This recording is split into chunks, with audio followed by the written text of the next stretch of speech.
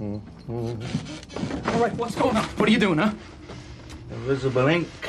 Smells like hospice, What's eh? this? Did you, uh... What? Did you steal this from Samuel Townsend, did you? It was handed to me.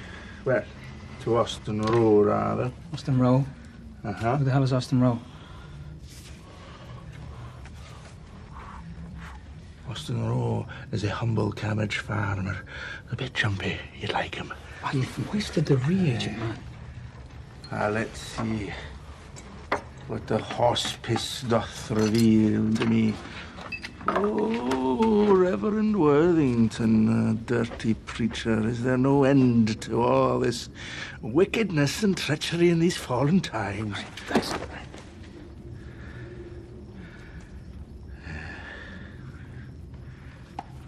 Nothing about my friend Andre. I'll take it to the drawer. I'm going with you. What? No, no, no, no, no, no, no. You, you, you can't come with me. If my courier sees me with you, I'm cut from the ring. What do you mean if he sees you with me? I thought you were just dropping that and he was picking it up. Eh? Why?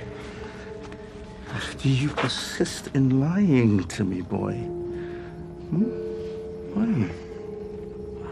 Don't do that. You listen to me. What are you going to talk to him about? Not me, I hope. No.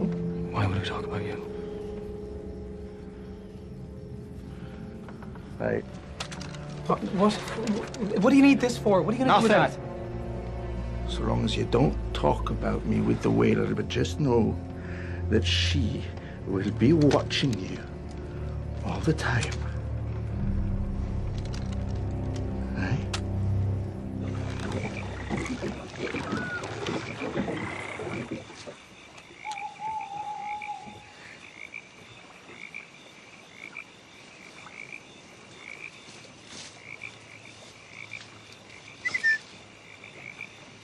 Christ.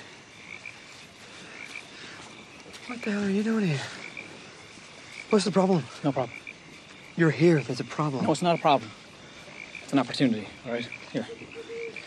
Somehow Simcoe has learned the name Culper, and I fear Andre may know it as well. Yeah, we know. What do you mean you know? Name was in the paper stolen from our camp. What? Some guy called Gamble. He was the one who killed Mr. Sack and stole the papers. Well, when did this happen? I know, well ago. Well, so when did you tell me? Philip, I need to know this shit, right? I need to know everything. Yeah. Are you telling me everything?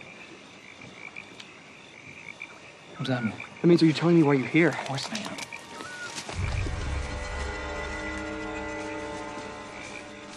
Jesus. Her too? Annie? What is this, a reunion? Hello, Caleb. I thought I should be here when Abraham tells you I can. Your plan. All right, we're not here to boast. It Doesn't matter whose plan it was. The point is, we, we have found a way to frame a certain Tory who lives in Rocky Point. Simcoe thinks that this man is Culper and he'll be setting out to arrest him. Right, but instead you want me to ambush him. There you go. Nice.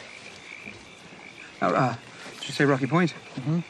That, uh, that, that Tory wouldn't happen to be our old friend Beekman, That's the one. Nice. Well, I'd love it if Simcoe doesn't survive this time. Oh, trust me. He'll be a dead man. Wait.